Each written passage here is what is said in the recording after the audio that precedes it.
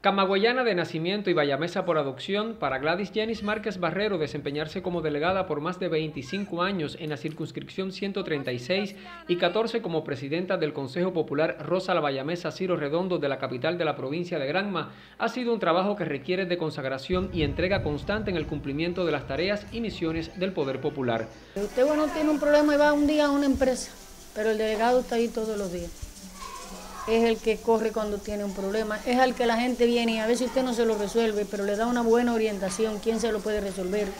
A veces hasta ni eso, porque yo a veces he atendido personas aquí que su problema es conyugal.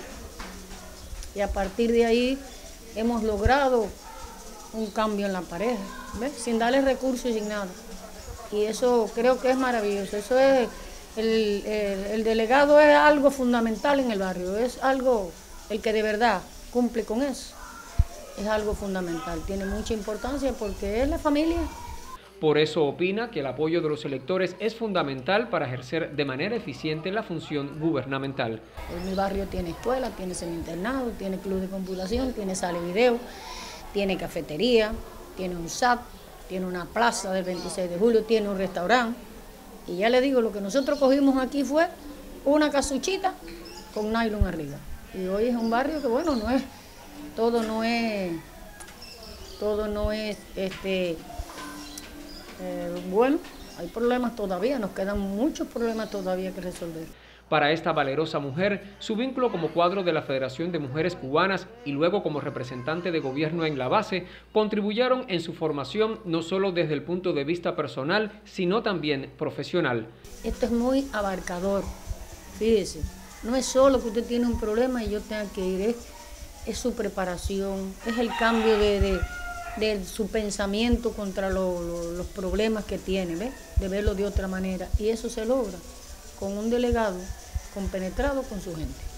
A sus 70 años de edad, Gladys logra, gracias a la ayuda de sus familiares y vecinos, mantenerse activa aún cuando su labor como delegada recesó por cuestiones de salud. Yo sigo en la zona de defensa, sigo en el núcleo, sigo... ¿eh? Pero yo me levanto a las 4 o a las 5 de la mañana. Yo no, no me paso el día durmiendo. Y yo salgo todas las mañanas, yo salgo. Aunque sea a conversar con la gente, a ver qué pasa y eso ahí.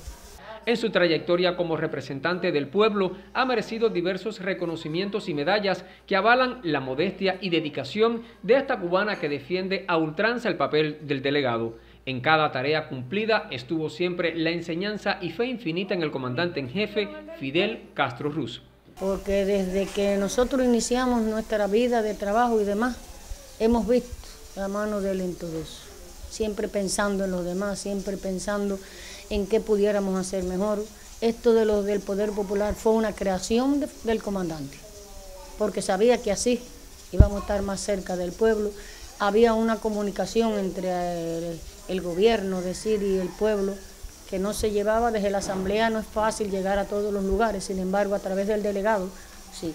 Y además, porque precisamente la asamblea la constituyen los delegados, ese es el poder, la asamblea reunida es el poder del gobierno.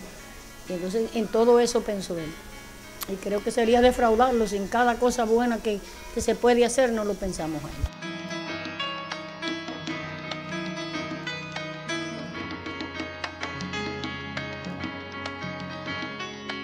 Desde Granma, Jorge Luis Ríos, Sistema Informativo de la Televisión Cubana.